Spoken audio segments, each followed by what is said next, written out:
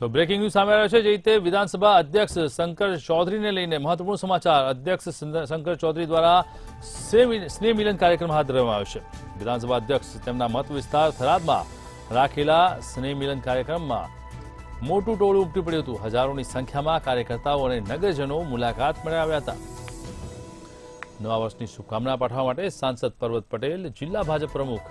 કીર્તિસિંહ વાઘેલા પણ આ કાર્યક્રમમાં ઉપસ્થિત રહ્યા હતા એમએલએ માવજી દેસાઈ કેસાજી ચૌહાણ સહિતના નેતાઓ પણ તેમાં ઉપસ્થિત રહ્યા હતા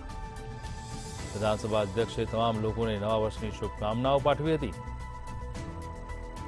મત વિસ્તાર થરાદમાં રાખેલા કાર્યક્રમમાં માનવ મહેરામણ ઉમટી પડ્યું હતું